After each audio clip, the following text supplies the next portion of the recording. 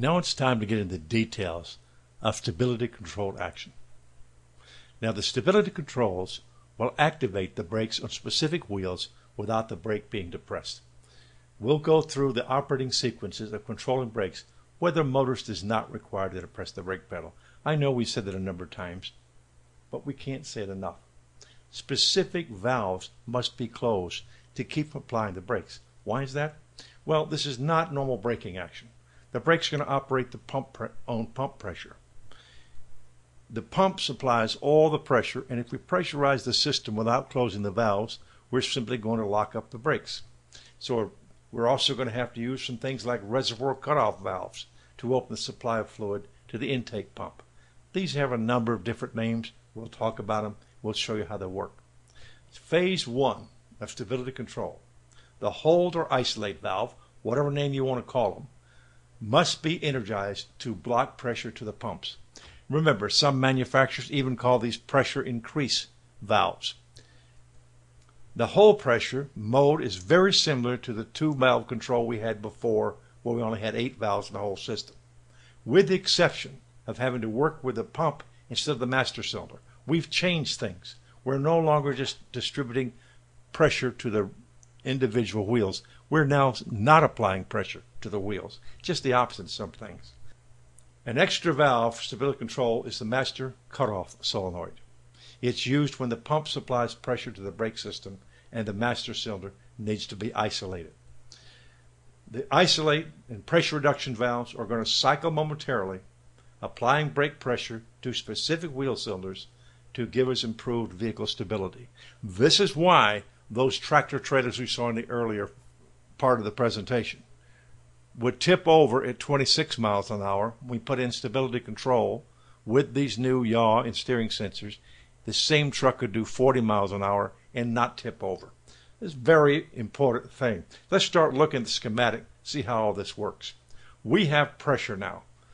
The master cutoff solenoid at the top is closed. It blocks the pressure. Now, the pink in this area is pressurized. Now, in this particular case, this drawing shows the pressure hold valve as off.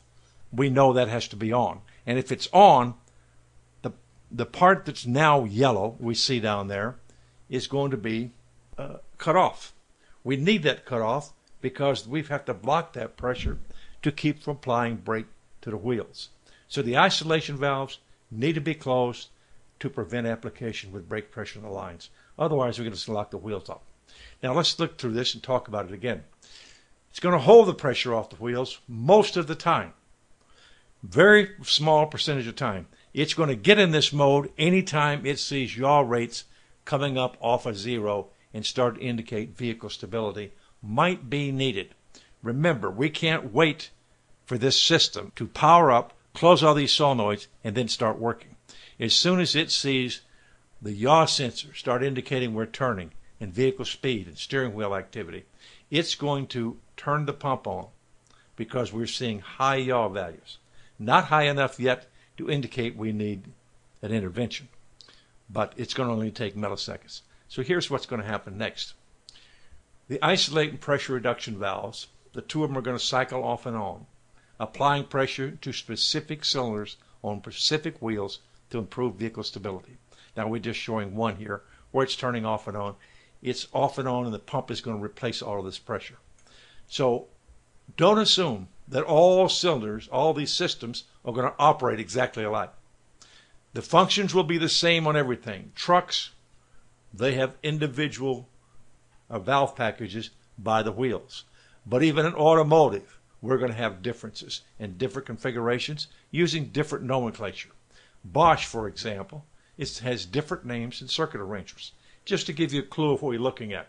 The isolation or blocking valve. In Bosch's jargon, is called the inlet valve. The pressure reduction or dump valve is called the outlet valve in the Bosch system. And we'll walk through the actions needed to apply the rear brakes for stability control in a Bosch system because it's got a bunch of extra solenoids, more than just the three per channel like we just had.